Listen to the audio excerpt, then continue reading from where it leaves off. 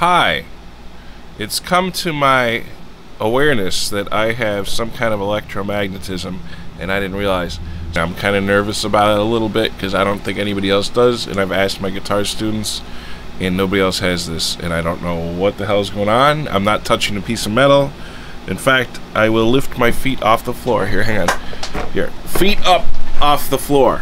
Watch this. When I get close to the pickup, I'm not touching it. See?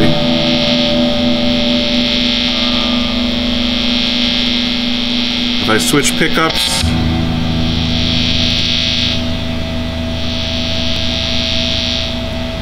why am I emitting fucking radio waves?